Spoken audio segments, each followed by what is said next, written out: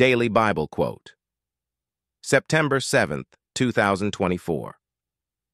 Then a cloud appeared and enveloped them, and a voice came from the cloud. This is my son whom I love. Listen to him. Mark chapter 9, verse 7.